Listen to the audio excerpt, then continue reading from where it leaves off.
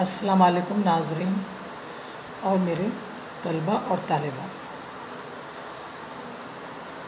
मैं डॉक्टर फ़रखंदा ज़मीन। आज मैं मैार अदब का एक और सबक, सैर पहले दरवेश की कहानी के इक़्तबास का ख़ुलासा पेश करूँगी। ये मीर अमन दहलवी की किताब एक दास्तान है जो बागो बहार से लिया गया है। बागो बहार किस्सा चार दरवेश जो अमीर खुसरो का लिखा हुआ था, उसका हम इसको तर्जुमा तो नहीं कह सकते, क्योंकि ये तर्जुमा नहीं है पूरी तरह से। इसके अंदर मीर अमन ने अपनी खूबसूरत ज़बान और बयान का इस्तेमाल करके इस क़स्से को जावेदा बना दिया। Mir Aman Fort William college से वाबस्ता थे और फ़ोर्ट विलियम कॉलेज के प्रिंसिपल जॉन किलक्रिस्ट ने मीर अमन को ख़ास तौर से इस काम से के लिए बुलवाया था दहली से और मीर अमन ने इस काम को बड़ी खूबसूरती और बड़ी खूबी से अंजाम दिया और ये उर्दू नस्र की में एक मील का पत्थर साबित हुई इसकी ज़बान और बयान, इसका अंदाज़, इसका हर चीज़ इसके अंदर जो नस्र की खूबियाँ मौजूद हैं वो शाज नादिर ही मिलती हैं।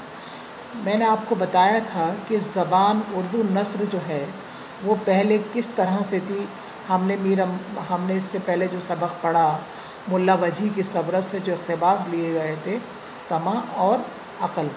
तो उस वक्त उर्दू ज़बान जो थी, वो इस तरीके से थी, उसमें दक्कनी अल्फाज की बहुत भरमार थी, जो जो कुछ अल्फाज मतरूब थे या हमारे कानों को गिरा गुजरते थे, उनको शुमाली हिंद के बड़े बड़े ओलमा और अदीबों ने इनको निकाला इस ज़बान से और उसको इसलाह की ज़बान की अब ये इस, इसके बाद जो हम नसर देखने को मिलती है हमें, वो मीर अमन दहलवी की बागो बहार, जिससे आपका ये सबक लिया गया है, पहले दरवेश की कहानी।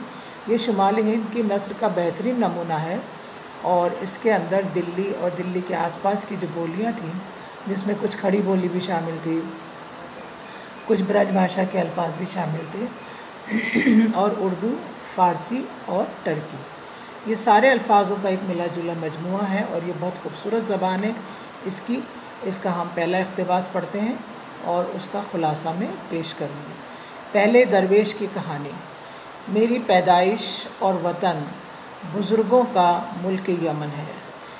ये एक दरवेश है जो दरअसल ये चार दरवेश बैठे के बातें करते हैं, उनमें से एक दरवेश हैं जो अपनी दास्तान सुना रहे हैं कि मेरी पैदाइश और वतन बुज़ुर्गों का मुल्क यमन है, कि मेरा वतन जो है वो और मेरे बुज़ुर्गों का, मेरे आबा अजदाद का जो वतन है वो यमन है। वालिद इस आजिज़ का, वालिद इस आजिज़ का ख्वाजा अहमद नाम बड़ा सौदागर था। सौदागर कहते थे बड़े व्यापारी को जो आज हम कहते हैं ना, बड़े बिजनेसमैन सौदागर। सौदागर उसमें इंपोर्ट एक्सपोर्ट दोनों चीज़ें होती थी। उस वक्त में कोई महाजन या व्यापारी उनके बराबर न था। यानी जो कोई महाजन या व्यापारी मेरे वालिद के बराबर न था। यानी इतने बड़े बिजनेसमैन थे। अक्सर शहरों में कोठियाँ और गुमाश्ते ख़रीद फरीक ख़रीद फ़रोख्त के वास्ते मुकर थे। यानी उनका इतना बड़ा बिज़नेस था। जैसे आज हम कहते हैं कि फ़ला उसकी ब्रांच वहाँ है। जैसे मान लीजिए आप, अब अंबानी ग्रुप है तो हम कहेंगे अंबानी ग्रुप की ब्रांच अजमेर में भी है, राजस्थान के जयपुर में भी है, और एमपी में भी है, और इधर भी है, और फॉरेन में भी है। तो वो, वहाँ पर उनके ऑफ़िस हैं ब्रांच है, वहाँ लोग रहते हैं, काम करते हैं। इसी तरीके से उस ज़माने में भी उस सौदागर की, हर, ज़्यादा बड़े शहरों में कोठियाँ और गुमाश्ते, यानी आज हम क्या कहते हैं सेल्स मैनेजर एग्जीक्यूटिव ये सारे वहाँ पर मौजूद थे जो कि उसकी जो अशिया थी, अशिया माने चीज़ें, उनको ख़रीद फ़रोख्त, यानी एक्सपोर्ट इंपोर्ट करते थे। और लाखों रुपए का नकद और जिन्स मुल्क मुल्क की घर में मौजूद थी। जिन्स भी चीज़ों को कहते हैं, अशिया को कहते हैं, यानी मेरे घर में लाखों रुपया नकद और बेहतरीन सामान मौजूद था। उनके यहाँ दो बच्चे पैदा हुए। एक तो मैं हकीर फ़कीर कफनी मैली पहने हुए, मुर्शिदों की हजूरी में हाजिर और बोलता। यानी एक तो मैं, जो ये, यानी मेरे वालिद इतने पैसे वाले थे और मैं आज ये महला कुचैला लिबास पहने हुए आपके सामने हुजूर, यानी बुज़ुर्गों की, मुर्शिदों की हाज़िरी में बैठा हुआ हूँ। दूसरी एक बहन जिसको किबला गाह ने अपने जीते जी और शहर के सौदागर बच्चे से शादी कर दी थी। और दूसरी कौन? उसकी बहन। किबलागा किसे कहते हैं? वालिद को कहते हैं। वालिद यानी मेरे किबलागा मेरे वालिद ने अपने जीते जी शहर के किसी सौदागर से उसकी शादी कर दी थी और अपनी ससुराल में रहती थी।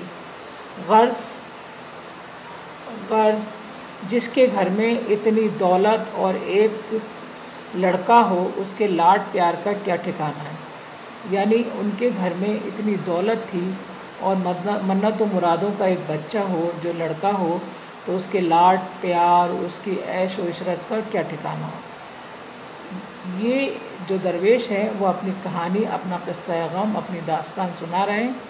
अब हम इसका बाकी का हिस्सा कल इन अगले लेक्चर में पेश करेंगे। अल्लाह